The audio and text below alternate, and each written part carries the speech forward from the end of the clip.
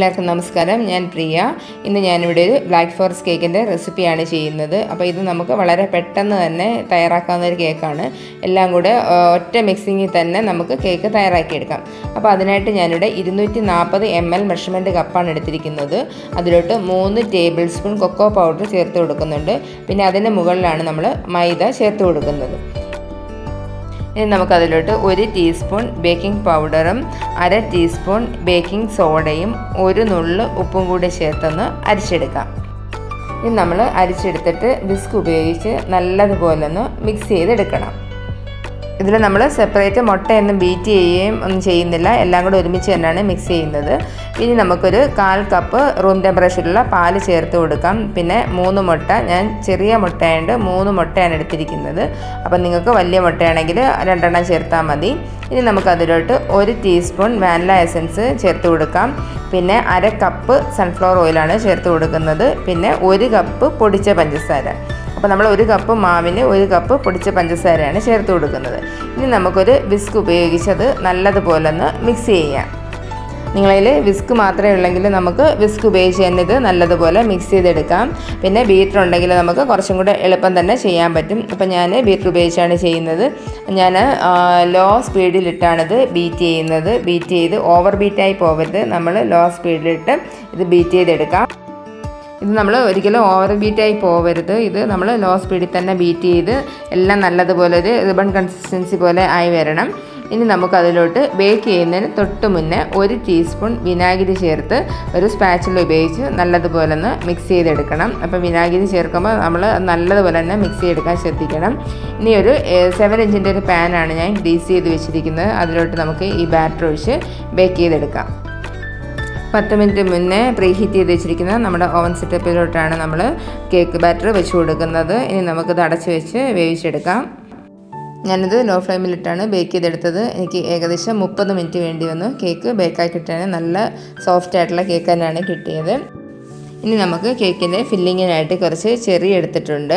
അപ്പോൾ ചെറിയിൽ ഒരു രണ്ട് ടേബിൾ സ്പൂൺ പഞ്ചസാര ചേർത്ത് കൊടുക്കുന്നുണ്ട്. അതിലോട്ടൊരു കാൽ കപ്പ് വെള്ളവും കൂടെ ചേർത്ത് നല്ലതുപോലെ ഒന്ന് തിളപ്പിച്ചെടുക്കുന്നുണ്ട്. നമ്മുടെ കേക്ക് ഞാൻ രണ്ട് ലെയറായിട്ടാണ് കട്ട് ചെയ്ത് വെച്ചിരിക്കുന്നത്. അപ്പോൾ അതിന് വേണ്ടിയിട്ടുള്ള ഷുഗർ സിറപ്പും കൂടെ നമ്മൾ നേരത്തെ തന്നെ തയ്യാറാക്കി വെക്കണം. അപ്പോൾ ഞാനൊരു കാൽ കപ്പ് വെള്ളത്തിൽ ഒരു മൂന്ന് ടേബിൾ സ്പൂൺ പഞ്ചസാരയും കൂടെ ചേർത്താണ് ഷുഗർ സിറപ്പ് തയ്യാറാക്കി വെച്ചിരിക്കുന്നത്. ഇനി നമുക്ക് ഈ ചെറിയ കേക്ക് നല്ലതുപോലെ ഒന്ന് വെന്ത് വന്നതിന് ശേഷം ഫ്ലെയിം ഓഫ് ചെയ്ത് കൊടുക്കാം. എന്നിട്ട് തണുത്തതിന് ശേഷം നമുക്ക് മിക്സിയിലിട്ടൊന്ന് ക്രഷ് ചെയ്തെടുക്കാം. അപ്പോൾ ഈ ചെറിയ സിറപ്പ് ഞാൻ ക്രഷ് ചെയ്യുന്നതിന് മുന്നേ അതിൽ നിന്നും ഒരു ടീസ്പൂൺ നമ്മുടെ ഷുഗർ സിറപ്പിലും കൂടെ ചേർത്ത് എടുത്തിട്ടുണ്ട്. അപ്പം കേക്കിന് നല്ലൊരു ടേസ്റ്റ് കിട്ടും. ഇനി നമുക്ക് ക്രീം ഒന്ന് ബീറ്റ് ചെയ്യാം. ഞാനിവിടെ ഒരു കപ്പ് ഫിയോണയുടെ പിങ്ക് ക്രീമാണ് എടുത്തിരിക്കുന്നത്. അപ്പം നമ്മൾ ക്രീം ബീറ്റ് ചെയ്യുന്നതിന് മുന്നേ തന്നെ പാത്രവും വിസ്കും എല്ലാം നമ്മൾ നല്ലതുപോലെ ഫ്രീസറിൽ വെച്ച് തണുപ്പിച്ചിരിക്കണം. അതേപോലെ തന്നെ ക്രീമും നമ്മൾ നേരത്തെ തന്നെ ഫ്രീസറിൽ നിന്ന് എടുത്ത് ഫ്രിഡ്ജിലോട്ട് വെച്ചിരിക്കണം. ഇനി നമുക്ക് കേക്ക് ഒന്ന് സെറ്റ് ചെയ്തെടുക്കാം. അതിനായിട്ട് നമ്മൾ ഒരു കേക്ക് ബോർഡ് വെച്ച് കൊടുത്തിട്ട് അതിന് മുകളിലോട്ട് കുറച്ച് ക്രീം ചേർത്ത് കൊടുക്കുന്നുണ്ട്. പിന്നെ നമ്മൾ ആദ്യത്തെ ലെയർ കേക്ക് വെച്ച് കൊടുക്കുന്നുണ്ട്. ഇനി നമ്മുടെ ഷുഗർ സിറപ്പ് ആഡ് ചെയ്ത് കൊടുക്കാം. അപ്പോൾ ഷുഗർ സിറപ്പ് നിങ്ങൾക്ക് ഇഷ്ടമുള്ള കണക്ക് ചേർത്ത് കൊടുക്കാം. ചിലർക്ക് മധുരം കുറച്ച് മതിയെങ്കിൽ അതിനനുസരിച്ച് ചേർത്ത് കൊടുത്താൽ മതി. ഇനി നമുക്ക് ക്രീം ഇതിലൊന്ന് സ്പ്രെഡ് ചെയ്തെടുക്കാം. ക്രീം ഒന്ന് നല്ലതുപോലെ സ്പ്രെഡ് ചെയ്തതിന് ശേഷം നമുക്ക് ഇതിന് മുകളിലോട്ട് ചെറി ചേർത്ത് കൊടുക്കാം. അപ്പോൾ ചെറി നമുക്കത് മുഴുവനായിട്ട് തന്നെ ഇതിനകത്ത് ചേർത്ത് കൊടുക്കാം. നമുക്ക് രണ്ട് ലെയറിലേ ഉള്ളൂ. അതുകൊണ്ട് നമുക്ക് ആ ചെറി ഫുള്ളായിട്ട് ഇതിൽ ചേർത്ത് കൊടുക്കാം. പിന്നെ ഞാൻ ടേസ്റ്റിനായിട്ട് കുറച്ച് കണ്ടൻസ്ഡ് മിൽക്കും കൂടെ ചേർത്ത് കൊടുക്കുന്നുണ്ട്. അത് നിങ്ങൾക്ക് വേണമെങ്കിൽ ചേർത്താൽ മതി. ഇനി നമ്മുടെ ലാസ്റ്റ് ലെയർ വെച്ചിട്ട് അതിലും ഷുഗർ സിറപ്പ് ചേർത്ത് കൊടുത്ത് ജസ്റ്റ് ഒന്ന് ക്രം കോട്ട് ചെയ്തിട്ട് ഒരു ഒരു മണിക്കൂറോ അല്ലെങ്കിൽ അരമണിക്കൂറോ ഫ്രിഡ്ജിലോട്ടൊന്ന് വെച്ചേക്കാം. ഇനി നമുക്ക് ബാക്കി ക്രീമും കൂടെ ചേർത്ത് കേക്ക് ഒന്ന് ഫിനിഷ് ചെയ്തെടുക്കാം.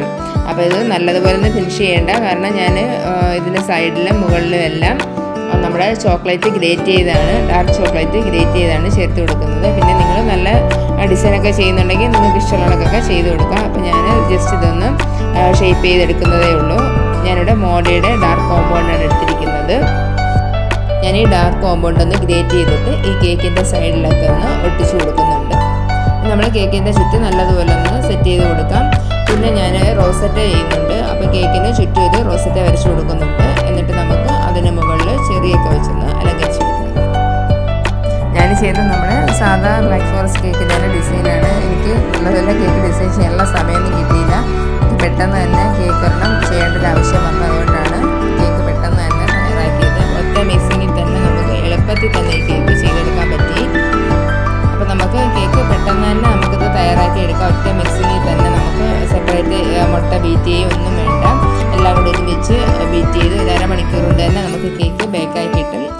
അതുപോലെ തന്നെ നമുക്ക് ക്രീം ചെയ്യുന്നതിന് ഒരു ബുദ്ധിമുട്ടില്ല.